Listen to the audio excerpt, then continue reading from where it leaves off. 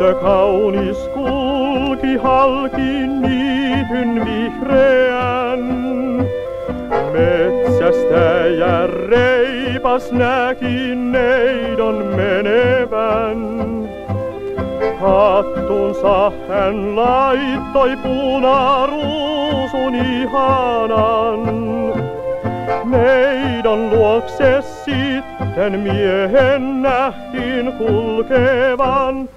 Oi villi ruusu, sä varo vaan, jos metsämiestä jäät sä kuulemaan.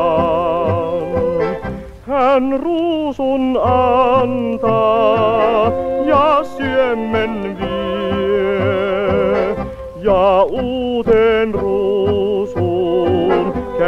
metsästäjän tie.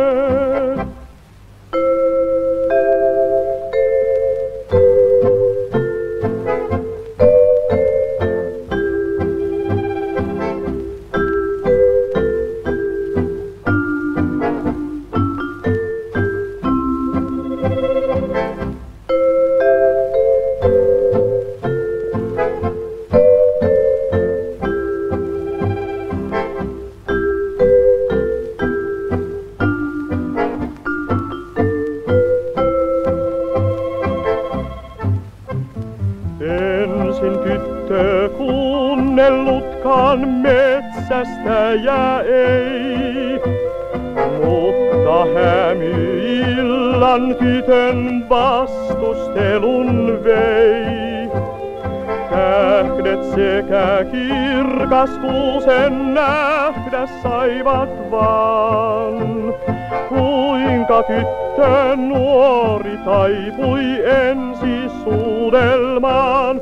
Oi villi ruusu, sä varo vaan, jos metsämiestä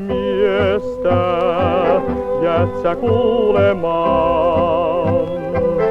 Hän ruusun antaa ja syömmen vie ja uuteen ruusuun käy metsästäjän tie.